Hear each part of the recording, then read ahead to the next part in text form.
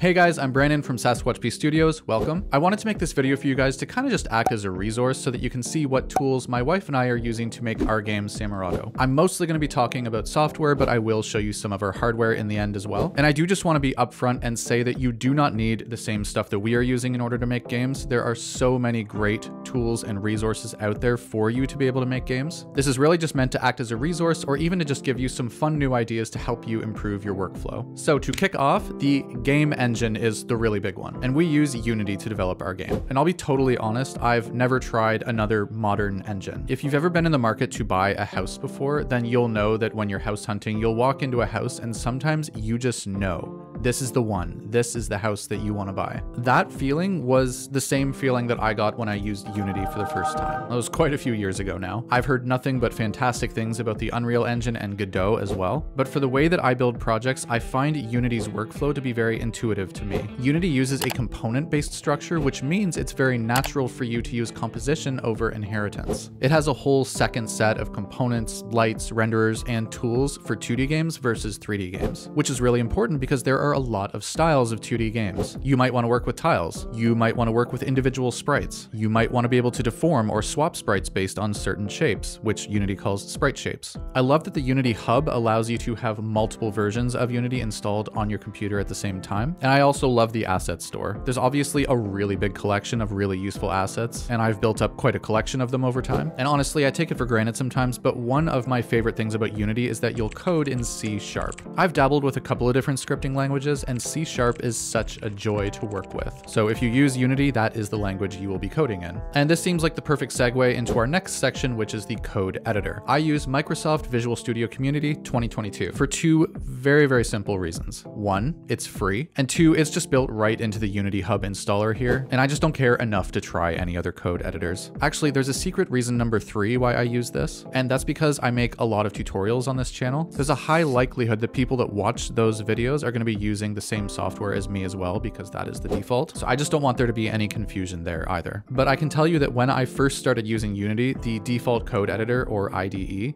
was MonoDevelop, and that was created by Unity. And let's just say that Microsoft Visual Studio Community is so much better. I do find the IntelliSense to be pretty good, and it's nice to work with software that seems to know what I want to do. And once you've familiarized yourself with some of the keyboard shortcuts and some of the tricks, it's a very, very productive tool. It's pretty easy to take the dark background for granted, but not all of us always had it that way.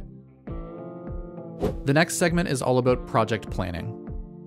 And when it comes to game planning, we recently switched to Codecks. I was using Trello before, but I wasn't really using it for planning so much as just brain dumping different ideas and bugs. Now, I am happy to say that Codecks is sponsoring this segment, and I can tell you that I took the time to learn their platform, and after seeing what it was capable of, I went to Nikki and I told her that we should be using this. So I can genuinely say that this is something that I recommend that you at least check out to see if it's a good fit for you. Because after seeing it in action, I started using it myself. So this segment was scripted by me, not Codecks, and it sums up my early experience with their platform. So thanks Codecks for supporting the channel. After playing with their tool for just 15 minutes, I decided to migrate our plans for our game Samurado over to this system. Codecks is the ultimate project management tool for devs because it's created by game developers specifically for game developers. The main reason I love it so much is because it manages to show you all the information you need to know without overwhelming you. The design makes sure of it because you organize all your tasks into cards that go into decks. But you can keep today's or this week's tasks, for example, in your hand. You can assign task priorities, give an effort rating, which makes it really easy to choose what you should work on next.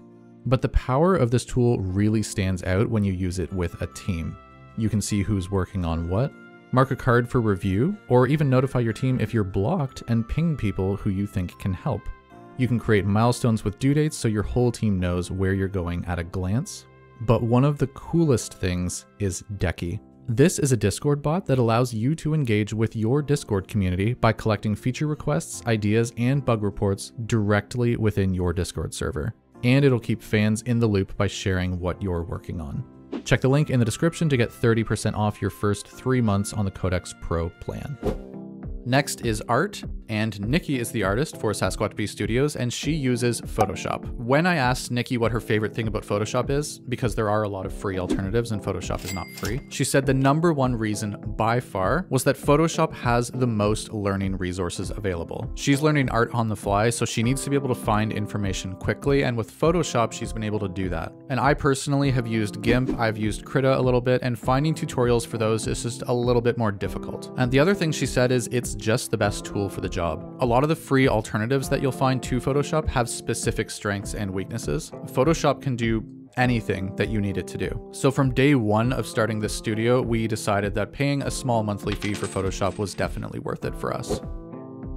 Next is sound, and for that I use Audacity. So I don't usually create my own sound effects from scratch. I'll usually refer to sound effects packs that I've already bought, or I'll go to a website like freesound.org and download things that have the Creative Commons license. And then I'll either layer multiple tracks together or slice them up or add some effects on top of them or some combination of all of that. I also use Audacity to record all of the tutorials for this channel as well as all of our podcast episodes. And yes, if you didn't know, we do have a podcast. The link is down below in the description. I've been using this software for years. It's totally free and it's very powerful and really easy to use. Next is video editing software, and this might sound like a bit of a weird thing to talk about for game development, but you're gonna need a little bit of video editing experience in order to at least put together some clips or some trailers to throw up on your social media accounts. I personally use DaVinci Resolve. It is very powerful and it is free. I've never been able to think of an idea that I wanted to do for a video that I wasn't able to do with DaVinci Resolve. Nikki is on a Mac, so she edits our Monday videos using Final Cut Pro, which is not free. I believe it's a $400 one-time fee. But she absolutely swears by it and says it was worth every penny.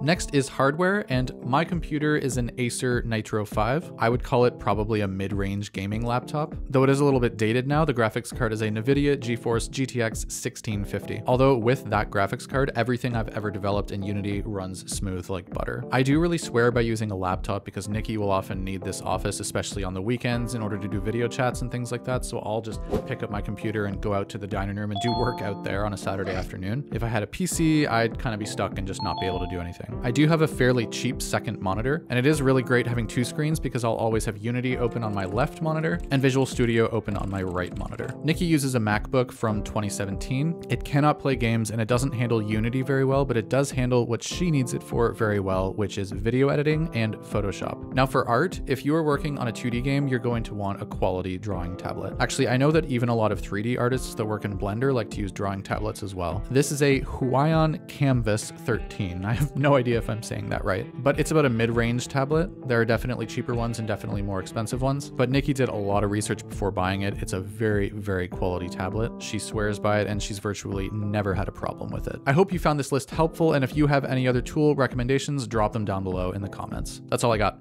Bye.